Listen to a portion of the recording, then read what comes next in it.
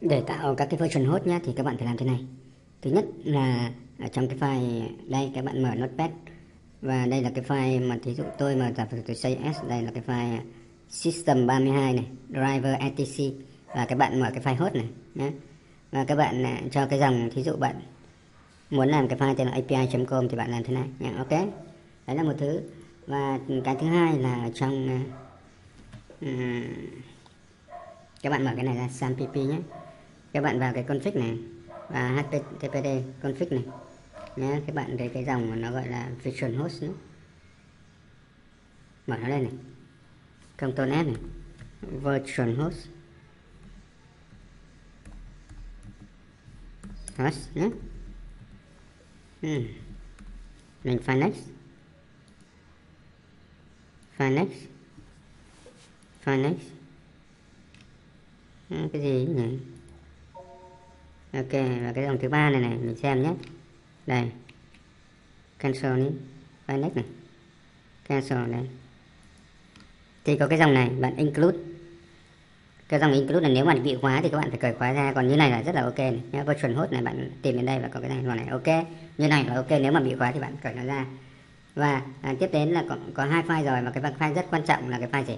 File à, đây các bạn vào đây thí dụ tôi mở, mở cái file này cái file này nó ở trong gì Apache config này extra.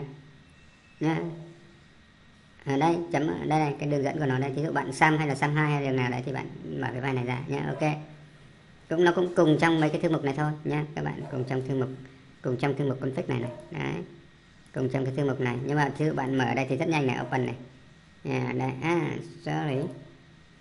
À, file size s. Đây nó cùng trong cái thư mục này nhé đúng không? Config này và nó có extra đại khái như thế. Nhé cancel. Thì bạn file bạn open cái cái, cái, cái thư mục đấy ra ra nhé thì à, cũng cũng được. Nhưng mà tôi đã mở ở đây rồi. Thì các bạn phải cho vào đây này đi ví dụ cho vào đây là uh, host này API này vhost API đây là ổ mình sẽ để các cái thư mục của mình ở trong này à, các cái file của mình trong này. Và đây là server name chỉ cần hai cái này thôi nhé đây nếu mà bạn dùng ờ, cổng 80 thì bạn để như này còn cổng khác thì bạn thay cái số cổng này. Và em bạn nhớ rằng bạn cho một cái dòng này vào nếu không thì nó sẽ bị thì ờ, nó không truy xuất được nhé đó cho thêm dòng này và cho thêm cái cái, cái directory này vào để cho nó đây vhost. Và cuối cùng bạn chứa nó ở trong gì? Local disk này vhost. Đây tôi có cái API và trong này tôi có cài connector chẳng hạn.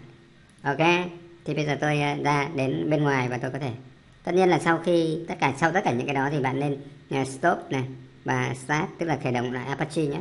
Ok? Và mình refresh và ok rồi. Được chưa? Postman.